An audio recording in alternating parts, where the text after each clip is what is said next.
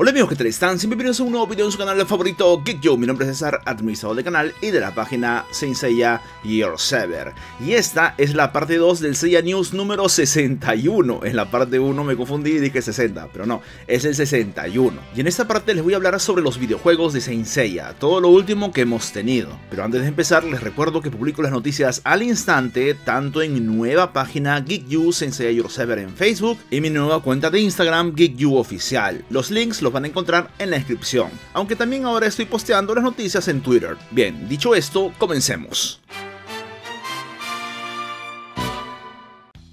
Y empezamos con el videojuego Saint Seiya de la empresa China Tencent, donde lo primero que tuvimos fue que publicaron el típico spoiler para una unidad que llegaría en septiembre. Por la silueta, claramente se trataba de Caron de Aqueronte, la estrella celestial del intervalo, y así fue anunciado mediante este video de revelación que están viendo en este momento. Como es costumbre, Caron primero llegó al servidor de pruebas, y allí se confirmó que sería una unidad S, pero lo curioso es que lo ubicaron junto a los espectros de los Canvas, como si la unidad fuera de esa versión, lo cual claramente no es, porque ya pudimos ver sus animaciones de presentación y selección mediante su trailer oficial, y claramente se muestra la historia del Caron del manga clásico. Por último, también tuvimos su versión chibi, como es costumbre. Después tuvimos que anunciaron un nuevo skin para la unidad de Sasha de los Canvas llamado Flor de Luz Misusawa. Por supuesto, vino con su historia fumada que dice así. Partita de repente vino a registrar las medidas del cuerpo de Sasha. Sosteniendo una cinta métrica, dijo solemnemente, esto es por su bien, señora diosa. Aunque no le gusta la sensación de la cinta métrica suavemente rozando su piel, Sasha permitió que Partita registrara el resultado.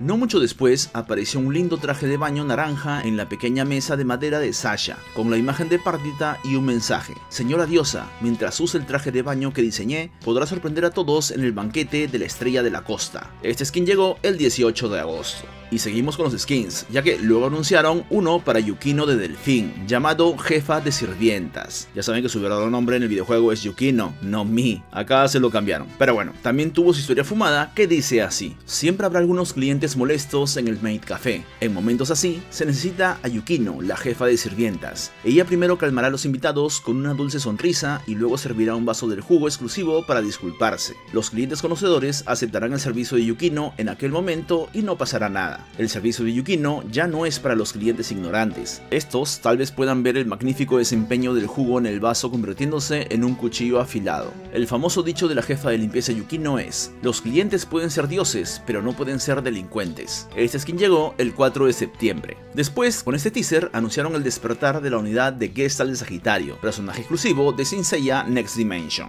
Luego, tras su respectivo spoiler, con este video, revelaron que la siguiente unidad que llegaría sería Camew con el Surplus de Acuario. Después tuvimos la llegada del skin de Pandora, comandante del inframundo, llamada Mensajera de la Flor de Cerezo. Y sí, lo que pasa es que este skin llegó por primera vez a la versión japonesa, o sea, el Rising Cosmo, y luego llegó a nuestra versión, el Sensei Awakening Knights of the Zodiac, pero es la primera vez que llega a la versión china, y aquí es llamada Sueño de Flores de Cerezo Cayendo. Y lo menciono sobre todo porque ahora sí tenemos historia fumada, que dice así. En marzo, los cerezos florecen por primera vez, el viento llena el jardín de fragancia, el sol brilla y el agua fluye. Cada vez que el joven venía aquí para disfrutar de las flores, recitaba poemas, se emborrachaba y descansaba contra un árbol. La brisa soplaba lentamente, las flores de cerezo caídas rozan su rostro y el joven duerme en un sueño primaveral. Una canción entró lentamente en sus oídos y con ojos adormilados vio a una mujer bailando con flores de cerezo flotando. Sus pasos eran como nubes que fluían y sus mangas eran como mariposas volando. Surgiendo la juventud,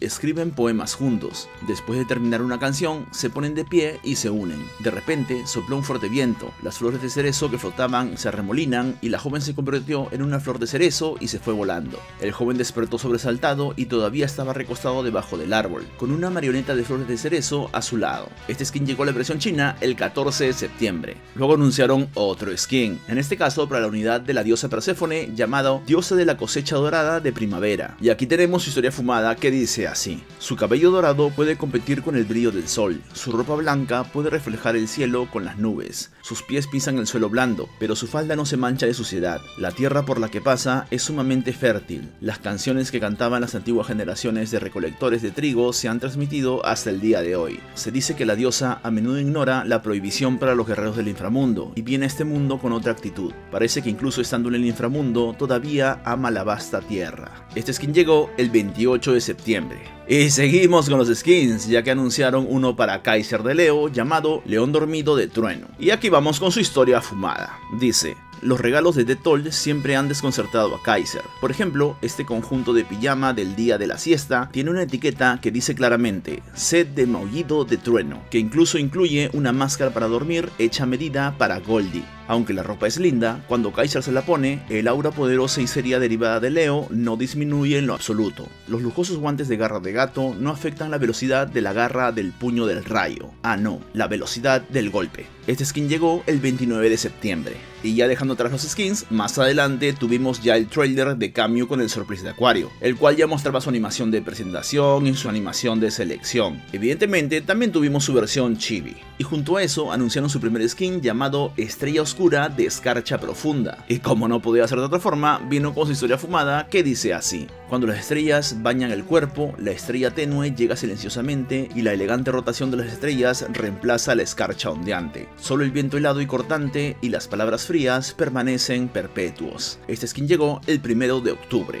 Después tuvimos un nuevo skin para la unidad de Iki con su plot divino del Fénix, pero no han publicado su historia fumada aún, lol. Por último, con este trailer anunciaron el despertar para la unidad de Pandora, comandante del inframundo. Ok, en cuanto a nuestra versión, o sea el Sensei Awakening Nice of Zodiac, tuvimos que estuvieron anticipando la llegada de Kagajo de Venu. Esta unidad llegó oficialmente el día 16 de agosto. Evidentemente anunciaron un All Star Show Match conmemorativo a la llegada de Kagajo, que se llevó a cabo el 19 de agosto, y también hubo dinámicas para ganar premios, así como el skin que ya conocíamos. Luego, iniciaron un concurso de marcos para avatares por el aniversario, y celebraron los cumpleaños de Iki y también de Ayoria con eventos conmemorativos. Después tuvimos que subieron el trailer del Jamir Galactic Championship 2023. Este evento celebró su final el 24 de septiembre de 2023. Al mismo tiempo que ocurría todo eso, estuvieron celebrando el aniversario con juegos y diferentes actividades. Ya saben, esos típicos jueguitos para nada difíciles en Facebook. Después anticiparon la llegada de Alon Hades de los Canvas y esta unidad finalmente llegó el 13 de septiembre. Por último, celebraron el cumpleaños de Shaka. En cuanto al videojuego, Seiya Chongshen de la sucursal china de la empresa Dina, tuvimos que nos regalaron los clásicos wallpapers conmemorativos celebrando la llegada de la unidad de Ayoria de Leo versión subliminada, o sea, con capa. Después, a través de la cuenta oficial de WeChat, se anunció que el 11 de septiembre se revelaría qué personajes de los Canvas serán parte del tercer evento colaborativo. Sin embargo, nos dijeron que del 30 de agosto al 9 de septiembre, los jugadores podían recibir pistas de personajes que llegarán a través de las tareas diarias dentro del juego. Ese modo spoiler anticipó la llegada de Saturno, el dios del tiempo en Sensei Omega. Las pistas mencionaban que él había sido un santo de acero y luego un santo de bronce, que posee la capacidad de controlar el tiempo y el espacio, que posee dos serpientes Uroboros, que fue compañero de Koga y que perdió la memoria. O sea, más obvio no pudo ser. Ya después la unidad fue confirmada y se mostraron todas sus habilidades, así como los clásicos wallpapers conmemorativos. Después, cuando llegó el día 11 de septiembre, tal como fue anunciado, se revelaron las nuevas unidades de la tercera colaboración con los Canvas. Se trata de Hakurei de Altar, Hasgar de Tauro, de Aries y Yusuriha de Gruya. La primera unidad en llegar fue la de Hakurei de Altar. Su primera participación será en el evento Glory Battle. Evidentemente, también se mostraron todas sus habilidades y sus wallpapers conmemorativos. En cuanto al videojuego Saint Seiya Senji Chuanchuo, primero tuvimos que se filtró el arte de la unidad de Hecate, la bruja de la luna. Lo curioso es que este arte está claramente basado en un fanart de Marco Alviero, chinos siendo chinos. Pero bueno, la unidad fue confirmada después por las redes oficiales, las cuales anticiparon su llegada y luego hicieron el anuncio oficial. Además, aquí podemos ver su aspecto dentro del juego.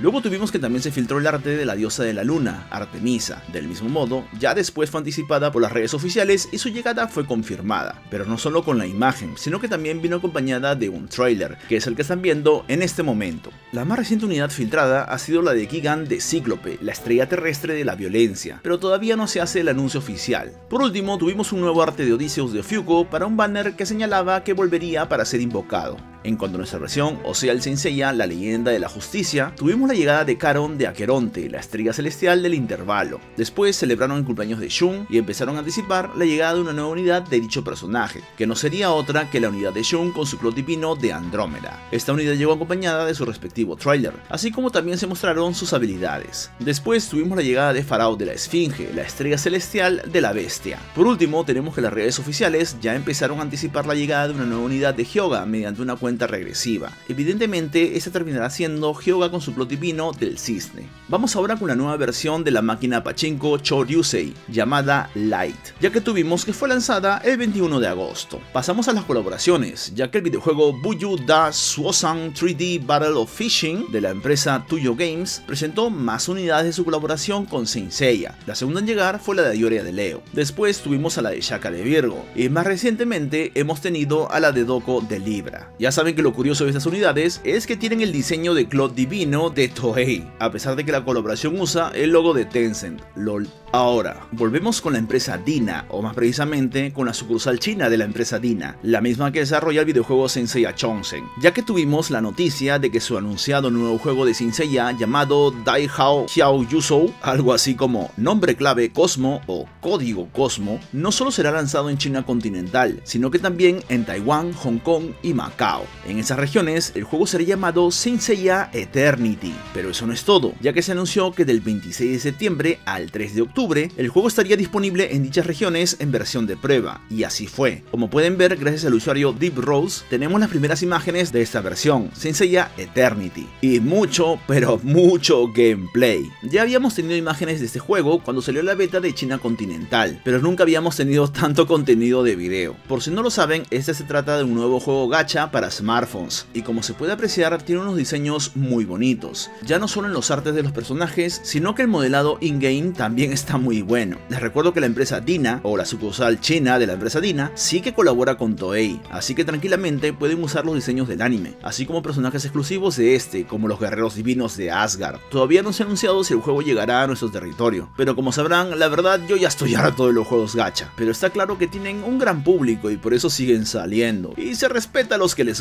Yo me quedo con los diseños porque son muy bonitos. Ya me dirán ustedes qué piensan. Y bueno amigos, eso sería todo por esta parte 2 del Seiya News número 61, donde les he hablado sobre todas las noticias de videojuegos. Les recuerdo que estos videos son simplemente una recopilación. Para estar verdaderamente al día, no te olvides de seguir mi nueva página GeekYou en Your Server en Facebook y mi nueva cuenta de Instagram GeekYou Oficial. Les agradecería que me sigan por ahí ya que esas redes son nuevas y necesito que aumente la gente. Los links están en la descripción, aunque también me pueden seguir por mi cuenta de Twitter ya que también estoy compartiendo noticias por allí. Como siempre, les mando un fuerte abrazo a todos los miembros del canal. Cada vez son más y estoy muy contento por eso. Ya saben que su apoyo es muy importante para mí. De verdad se los agradezco de corazón. Y ya sabes, si el video te gustó, por favor regálame un like y compártelo para que llegue a más fanáticos. Suscríbete al canal y si ya lo hiciste no te olvides de activar la campanita para que te notificaciones de mis nuevos videos. Y si quieres ayudarme a hacer más y mejores videos de calidad, puedes hacerlo uniéndote como miembro del canal o dejando un super gracias. Nos vemos en el próximo video. Dax Vidania.